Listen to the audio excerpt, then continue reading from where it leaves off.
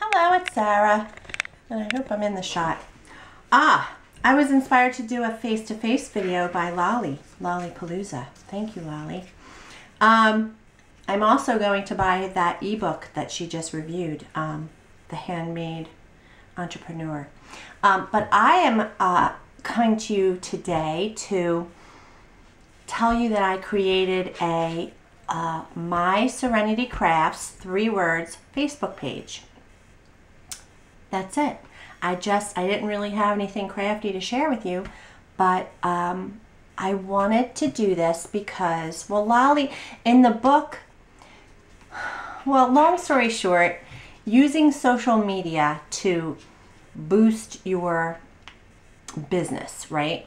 Well, I have an Etsy store, but I don't want my crafting to become a job. So that's always been my like my my my thing because I don't um, I want to craft for fun only.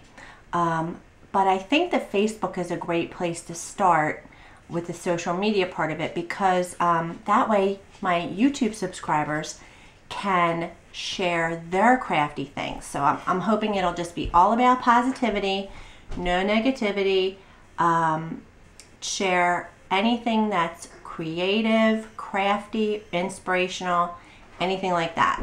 Okay? Because, I mean, I don't generally post on my personal Facebook page like just everyday stuff. I don't post personal things, but I definitely will post crafty stuff. Okay?